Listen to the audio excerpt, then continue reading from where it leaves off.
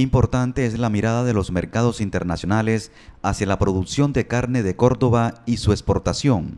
Uno de los mercados más interesados en importar carne cordobesa es el de China, que en los últimos meses ha hecho acercamientos con el gremio ganadero del departamento. Córdoba tiene más de 10.000 hectáreas dedicadas a la ganadería y actualmente exporta carne a países como Arabia Saudita. Sin embargo, el estatus de Colombia, que aún no ha sido certificada como país libre de fiebre aftosa, ha retrasado la exportación hacia China y Rusia. Sí, yo estoy seguro que está muy preparado. Yo pienso que el día que se nos libere las exportaciones, al mes siguiente yo pienso que ya habrá carne cordobesa en los mercados de China.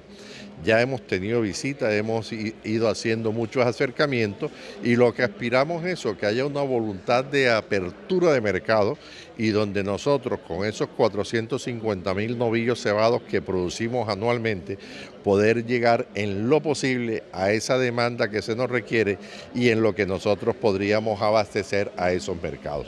Anualmente, Córdoba produce 450 mil novillos cebados. El objetivo del gremio es abastecer la demanda de carne de la región en los mercados foráneos.